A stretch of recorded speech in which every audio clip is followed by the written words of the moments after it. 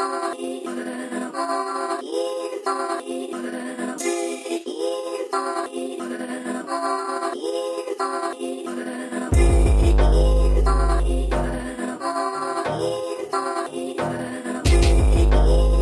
let's go.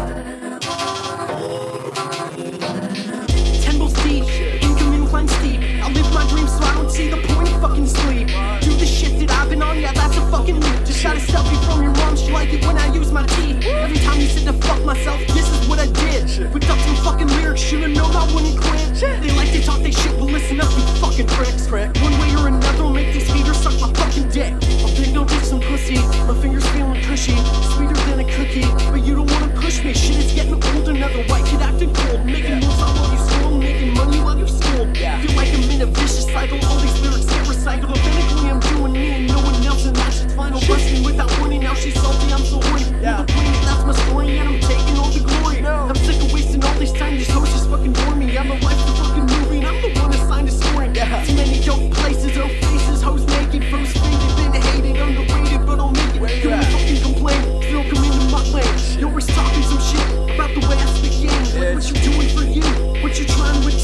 I refuse to get